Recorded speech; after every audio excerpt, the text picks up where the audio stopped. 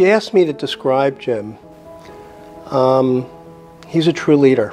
I've never worked with anybody who I look up to as much as Jim.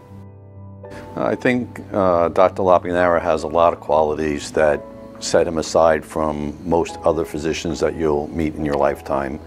He, he has been in every possible role at St. Joe's that made patient care phenomenal. Well, Dr. LaBagnara has been a, a leader.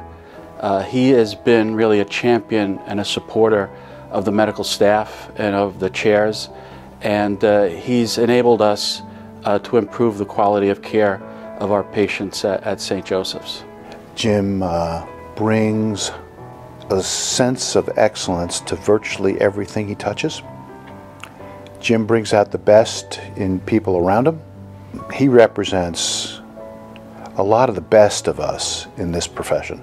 He uh, they diagnosed the fact that I have a hearing disability because I was a musician for many, many years. And so he and I got to talking about that. I went to see him in his office and he tuned my ears up, and it's been excellent. He's really changed uh, how I hear people.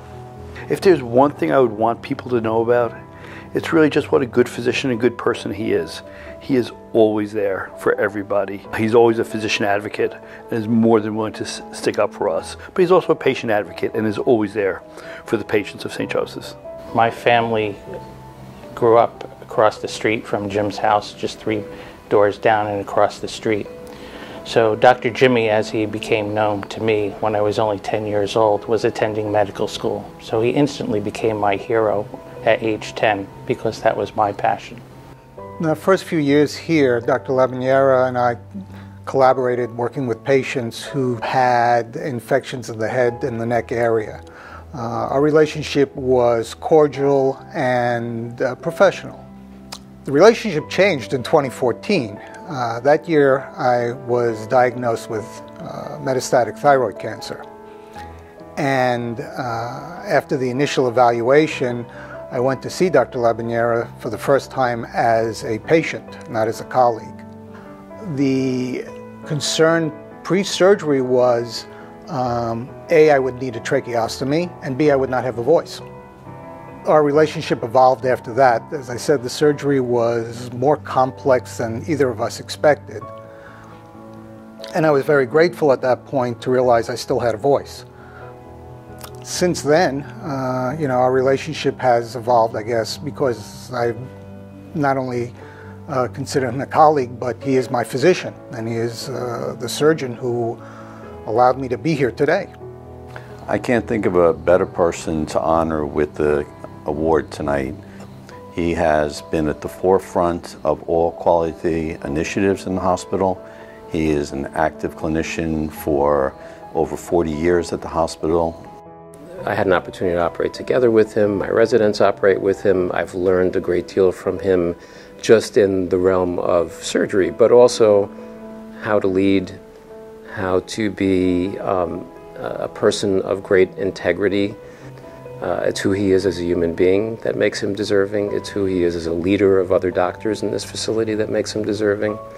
And um, it's long overdue.